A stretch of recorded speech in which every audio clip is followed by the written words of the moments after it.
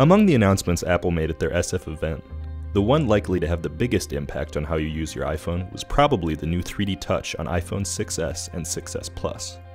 The hardware feature, which is basically Force Touch on steroids, allows the phone to sense multiple layers of touch interactions.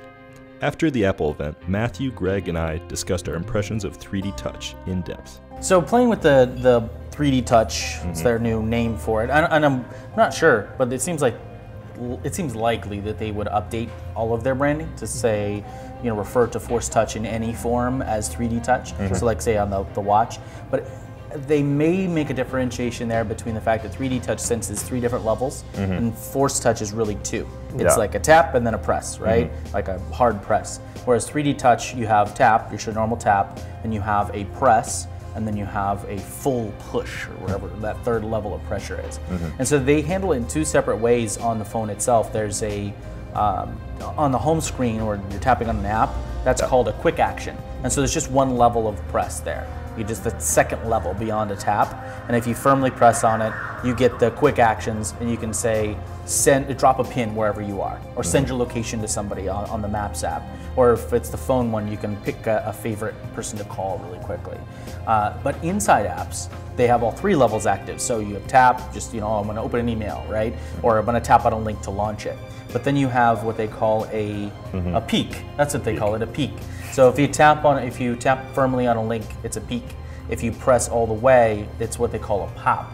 So for instance, if we click click on a link uh, that that's a Safari link, a web link, then it would open up a preview window showing you what you would see if you just tapped on the link to go to Safari.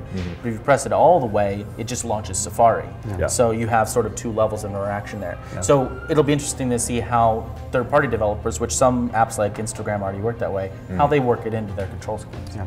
I really do hope that they limit it to, or most developers limit it to, you know, like bonus features. You know, like the extra stuff, little, little shortcuts that are just, it, it makes it nice for the power users. Because if it, if it becomes something that like they start hiding essential features behind that stuff, it's going to get really confusing for people like my mom, who still really hasn't figured out like left click versus right click. For me to have to be like, oh, you know, you're pushing it hard, but you need to push it harder. Right. She's just gonna say, I don't want this phone. It needs to be optional. Yeah. Yeah. It can't be the core mechanic in which the way you know is, which is the way you interact with the app. Yeah. It needs to be an additional way, a, a quicker way, a more friendly way, but not necessarily the only way, because they'll, they'll run into problems pretty quick. It is a very cool new way for developers to use the data that they have about how people are actually using their apps. So for things like uh, with, with Google Maps for you know dropping a pin, maybe they saw that people are using this a lot once they know about it, but it's kind of tucked back deep in there. So maybe if they push that up like they're doing with Maps, uh, that, it's just such a brilliant way to use data in a new way. So that's exciting. And it's completely different from the Apple Watch, where like some of the features you can only access through Force Touch. Right. So they they they have to be kind of rethinking their philosophy on what they're what they're using 3D Touch for. Because on MacBook and Apple Watch, I haven't been too impressed with it, but I think I think it looks like it has has some potential here. And my experience with it in person was that the it was calibrated well. Like it, it was easy to go from tap to press to push. Uh, so I think it's going to be adopted well. So we'll see how it goes.